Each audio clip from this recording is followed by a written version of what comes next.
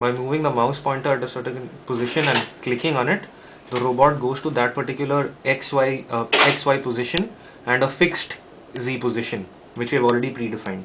That can be varied, but uh, uh, since the mouse has only a 2, D, uh, two uh, X, Y axis control, so we use the mouse to control just the X and Y axis. So I'll click it on this position and the robot has gone somewhere close to uh, a point which is, these two points are uh, the same points. I move it a little to the right to the bottom and the robot is moved on. Note that the the end effector is maintaining its angle theta w which we define in the beginning. So the end effector always the orientation of the end effector with the ground will be more will be constant. Now I get it closer to the body. So I move a little left, a little clockwise, anti-clockwise sorry. A little more. Shastri, give a. Uh, and these are these are these are 20 points. We'll run the program again. The program right now is just uh, we just made it for 20 points. So I've gone closer. Get it further away. Further.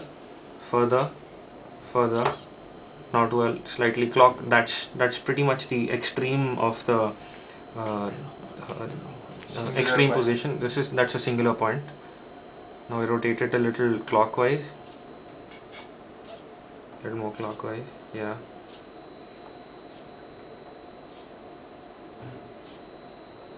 Now just for fun we can like go to the the anti-clockwise extreme and see how it moves here. It's gonna jerk. Uh, Abhay is already scared about it so. Abhay was we haven't fixed it as such. Yeah. So yeah you have to touch. You have to, you have to hold the motor. Base motor को भी hold. There, it's not here.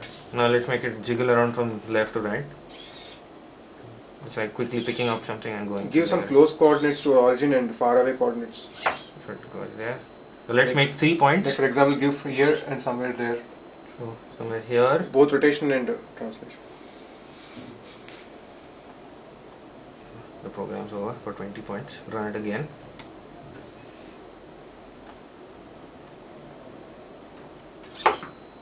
Here close and back far anti-clockwise extreme I guess somewhere in this now yeah. this the concept of path planning can be used uh, can be seen from here.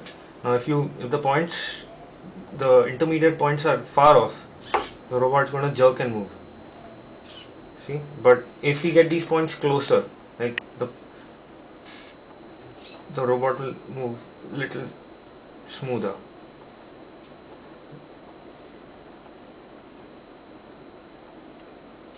Right? So these points could could be as close as possible. And uh, the closer we get the points the more the smoother the motion the lesser the jerks. And uh, now these points can be got by uh, uh by solving a path planning solution. I got some error but uh, by solving a path planning solution you basically define a curve. Uh, say you define a, a, spline curve with with one point here as I'm sh showing in the screen. One point here and one point here.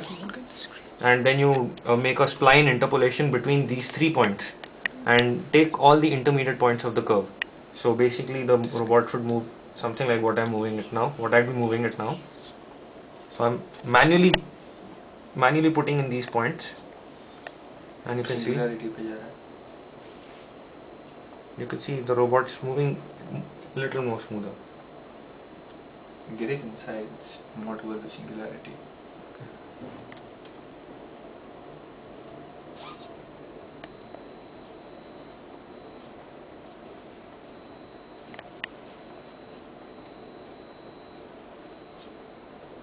Yep.